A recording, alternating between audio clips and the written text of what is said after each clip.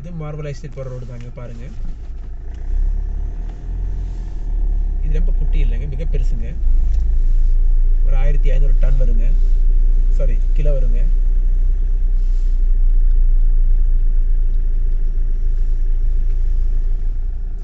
front camera மாற்றி இதில் காண